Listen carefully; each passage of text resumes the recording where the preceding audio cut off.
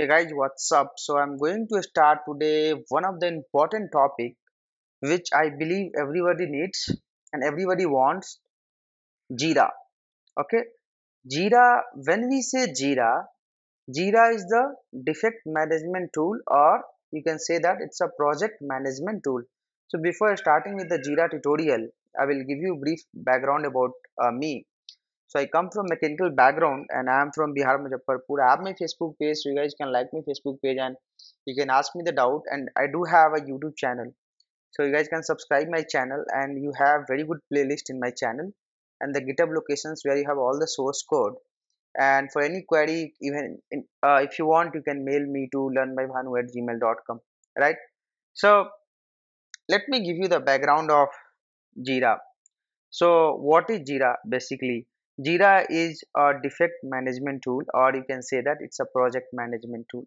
So why I'm saying that Jira is the project management tool? Because not only defect we can manage the in fact test cases we can manage the defects we can manage the project we can manage the sprint right? We can get the report out of Jira right so we can do lot more things in the jira compared to just managing the defects. We will see one by one okay? So to start with the jira first i will show you. Wherever you will go for any company there'll be a jira url like this https hyphen hyphen jira dot company name dot com. So here instead of company name it can be anything based on the company name right so usually uh, you will get jira id like this and wherever you go for any company and you have not worked actually you will get username password for the jira. They will give you username and password for the jira login. Okay that you don't need to worry okay? For any company if they use jira they will give you username and password. Now here if you look at this is my jira okay? Here what I will do, I will log in through my uh, Gmail account, okay, which I have, and then I'll go to the next and I'll, I'll supply the password. Okay, so once we log into the Jira, okay, this is the interface which we get. This is the interface which we get in the Jira. It will it will take some time it will uh, it's bit slow okay? So let it let it load and then i will explain you how the jira interface will look like and how jira works. We will see one by one. So that's how you will get a jira homepage okay? You will have a jira dashboard project issues boards create okay? And the moment you log in like this you'll get an interface now we will understand one by one okay? We will start with projects okay? So whenever you have a jira jira will have the associated projects and one company can have a multiple projects. That projects ideally it is not created by us. It will be created by by uh, i mean yes of course one of the team members or it can be ops team or it can be your manager right? It can be any one of one of them right? Then how do you create a project? We'll start with the fresh project okay? To create a project what we can do is we can click on these projects and we can click on uh, create project. So one company can have n number of projects right? So i will go for a scrum software development. I will go to next and here i will give some project name. So here i will uh, give project name saying that let's say team viewer. Team viewer is my project name the key is team. So it's okay. If you want you can change it. So team viewer i'm giving a project name. Click on submit. So one project will get created. Right? Now project is get created.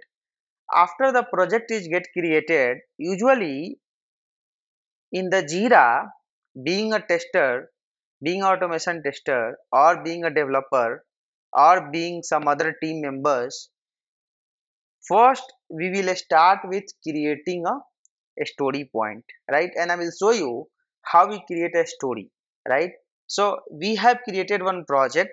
Now what we will do is we will go and create some story. So click on the create. When we click on the create here you can see that earlier i had one more project called doku right? So doku is also showing okay? Plus team viewer is showing. So i want to create a, a story into team viewer. So i will select the team viewer and issue type. So what you want to create? A story bug and epic. So what is the story? A story is nothing but let's say if there is one feature which you want to design. So let's say uh, if i have to talk about let's say uh, i'll give you example of payment page so the story is going to be i want to write the code for net banking. That is the story right bug i will tell you what is the epic. The epic is the bigger story. The story in which we can split multiple story.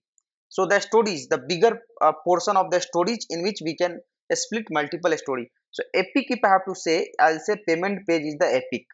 In the payment page there will be a net banking there will be a cod there will be a paypal right? There will be a credit card right so a story can be the individual story. The epic is the bigger part of a story. It's a broader view. We call it as epic. So here i'm going to create a story because assume that development team has created one story saying that design net banking design net banking integration. Right? And you can write some descriptions if you want. You can write some description. You are just creating the story okay? This is not a bug. This is the story. Like since we work in the agile right? So first we need to create the story. So we are creating the story. Then priority. What is the priority of this story? You can keep medium high low. I will keep high because we want this to be designed. If you have any attachment you can yes you can do some attachment and this is very important part. Whom you want to assign this story? Either you want to assign to some team member or you want to assign yourself. So when you want to assign yourself you click on assign to me. When you click on assign to me your name will display here. My name is showing in, in your case your name will see your name will show. And let's say if you want to assign something assign somebody you have to write that person name. So let's say i want to assign to let's say ram. Okay so here this my jira is not configured. Otherwise in the company configurations what will happen? You will get you know uh, all ram name present here. So let's say uh, ram pratap ram bismil uh, ram mohan ram sudarshan. You will get all the name displayed here. You can select one. Okay? You can select one. So here as of now i'll go for assign to me. It is assigned to me. And then what is the sprint? Right? What is the sprint like is there any sprint created? As of now we have not created the sprint so i'll just uh, i'll just click on create. So one story got created. That's how we create a story. So design net banking registrations one story has been created. Now what i will do is i will create one more story. Okay? Now in the same project story i'll create uh, let's say i'll create here. In the story i am going to create design net bank design credit card credit card integrations okay? So we are going to create this. And again assign to me since i don't have any other user and i'll click on create. So what happens? To a story got created right? That's how we create the story once this story got created uh, you can see that here you have a backlog and here you have active sprint right? So what we can do here is you click on this active uh, sprint here. When you mouse over you can see that active sprint you can click on the active sprint. When we click on the active sprint uh, what happens is we can create the sprint okay report release backlog and here you have invite your team components issues project setting right so what i will do first we will create one sprint to do that here create a board i don't want to create a board uh, what i will do is I'll first go to the project. So I'll select my project team viewer. I'll click on the team viewer project. So the moment you'll select the team viewer project, your project will come like this. And then what happens is we will create a board. So click on create a board, right? So create a scrum board. Okay. Now click on create a board. Now click on create a scrum board board from the existing product board from the existing saved file so do one thing cancel this we'll first create one sprint uh, let me figure out the options where we have team configure wait uh, we will go to the backlog. Yes here we have when we click on backlog here we have create a sprint. So click on the sprint because in agile generally we have the sprint so here team viewer that is the reason we are getting a short name team that we have seen that. So one sprint got created a sprint one now the moment sprint one got created right? And what happens is this two story we have added. So it will be there in the backlog. Now what i planned in my sprint one i want to design this. So i will just drag and drop it here. So it will come in the sprint one. As well as I will add one more story in the sprint one. So click on create issue here. When you click click on create issue here, we can when you click on this one box will open and here you can write uh, design let's say debit card or design yeah. Design uh, let's say what we can do here is we can write some story. So again uh, if you let's say when you say design a debit card so this is again going to be a story. But sometimes either you can design a story or you can go for some short bug fix also. So bug fix also you can do that right? So what I will do is uh, let me think of any bug which we can uh, think of. So I'll do one thing.